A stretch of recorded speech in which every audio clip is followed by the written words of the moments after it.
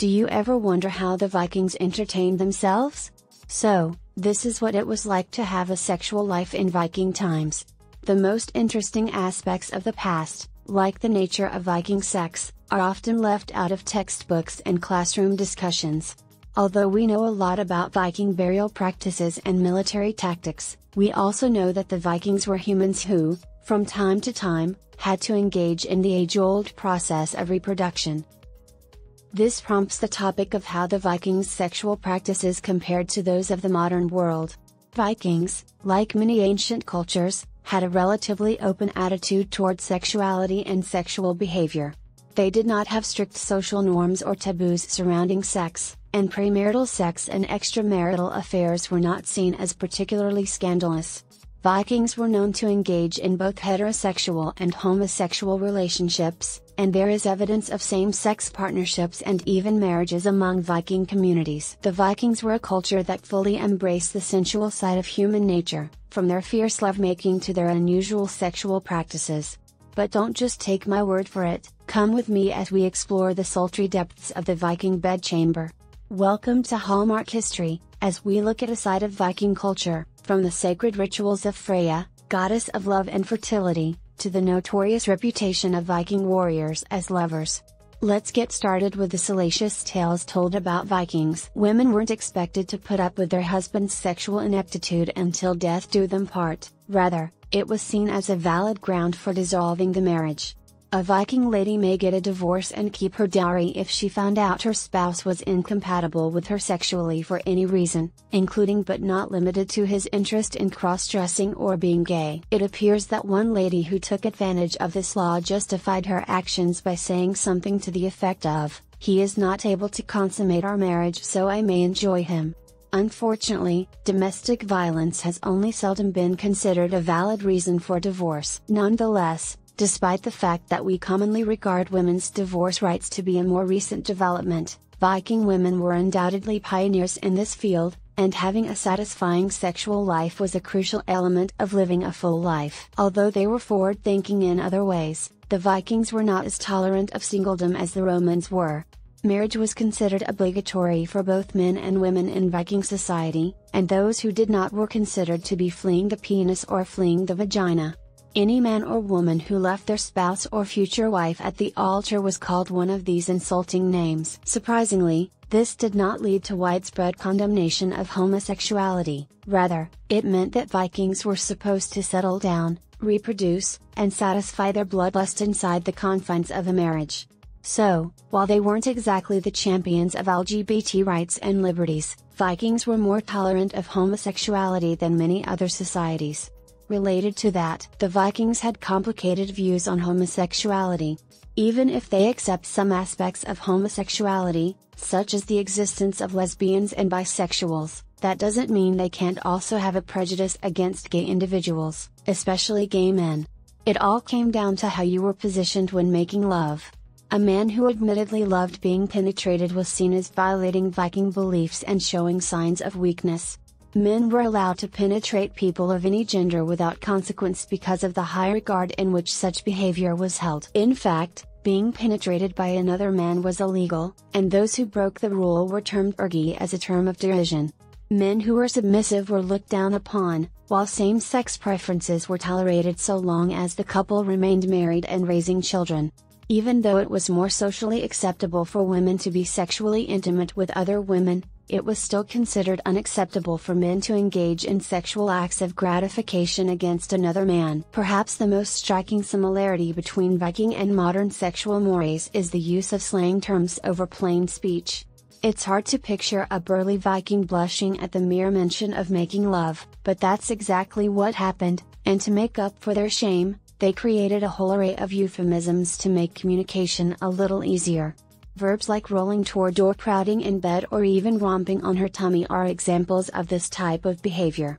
The actual deed was only inferred, as is the case with many common phrases used today.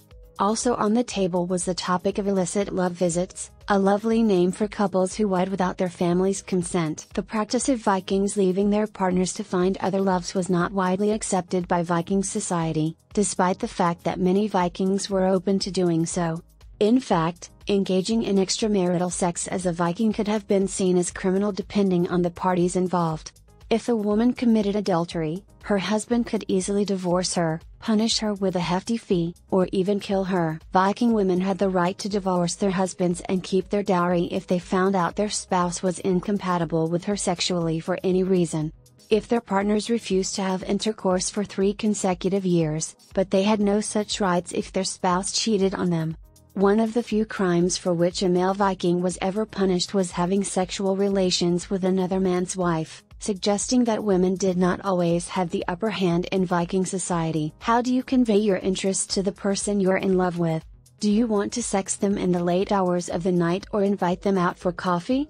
However, the Vikings did not have these conveniences, so they had to embark on the path to romantic partnerships through what may seem like a convoluted procedure to us now. You can attempt it if you want, lads, but we're not sure we like your prospects. This also includes the males collecting purple flowers and slapping them about the face of a woman they liked. In order to show their admiration, the women had to spend a lot of time sewing shirts for each male they fancied. A number of Vikings were forerunners of modern metrosexual guys, taking considerable delight in their appearances and participating in a lot of personal grooming. And typical man takes a shower once every week, by the standards of the day this was very often. Women and men alike adorned their appearances with brightly colored hair dye, makeup, jewelry, and well-fitting, well-styled clothing. Fascinatingly, the Vikings had their own criteria for beauty, which included having white arms and long, lustrous hair. With a life expectancy of only 40 years, Viking sex life began considerably earlier than we would consider moral or acceptable. Many girls were married off at the tender age of 12. They had to keep the house running and cook for their military husbands, as per the established gender roles of the time. One of the liberties afforded to Viking women was the inheritance of property, which was unheard of for women at the period, yet they were far from enjoying entirely free lives. Many of these practices may be disturbing to our modern eyes, but it may also surprise you to realize that some rather modern ideas shaped the Vikings' sexual aesthetic. It appears that straight men came out on top, often literally, in the event of the death of the Viking chieftain, his men would engage in sexual activity with one of his slave girls. Slaves' wives would be asked, which one of you will die with him? If something happened to their master, every man who was close to or loyal to the deceased chieftain would lie with her when she offered to help. The men would all say to their masters, Tell your master I did this only for the love of him, after completing their tasks. By then, she would have put on a cheerful front by singing, dancing, and apparently getting wasted. For the sake of their eternal devotion to one another, the chieftain and his slave girl would be sacrificed and cremated together on the day of the funeral. The TV show portrayed this strange ritual based on a first-hand account written during the Viking Age by the Arab explorer Ibn Fadlan. The Icelandic sagas feature extensive sexual content, both realistic and hilariously outlandish. In one of the most famous episodes of the Brynjólfs saga, a husband is cursed by another character who wants to end their marriage. He refused to sleep with the other woman, so she cursed him so that his penis would grow too big for his poor wife to handle. This caused him and his wife much embarrassment, pain, and frustration. If he were to sleep with anyone besides his wife, his penis would return to its normal size, the curse only applied to his marriage. Women in Viking religion were weird witches and mystics, and the religion was predominantly male and masculine. Modern Norse religion is dominated by male deities like Thor and Odin, and Middle Ages religion depicted women as witches or other socially outcast mystics. Norse pagans valued women prophetesses. They attributed knowledge to Thor, Odin, and Freya. Norse worshipped Freya, goddess of love, fertility, and household success. Viking men's privates were a sore spot for shame and insecurity. Women had the right to legally divorce unsatisfactory men, and stereotypes about impotent and short penised men were common. For a man living in the Viking Age, performance and size were important. Media portrayals of Viking sex often contrast with reality, which was much more subdued. Most men preferred to sit in the missionary or doggy style because it highlighted their status as the dominant alpha male. It was possible to have a threesome or an orgy, but it was not common. Sex could be tender and loving between a couple, despite the fact that men like to demonstrate their dominance and general manliness. Inconsistencies can be seen in Viking rape laws. While slaves could be raped, shamed, and mistreated as often as their masters pleased, raping a free woman could have severe consequences, including castration. It is my sincere hope that you have gained a better appreciation for the ferocity and intrigue of the Vikings as we conclude our journey into their private lives. This isn't the end of the road, though. Follow my Hallmark History channel for more enticing tales from the past and don't forget to like, share, and subscribe. We appreciate you taking the time to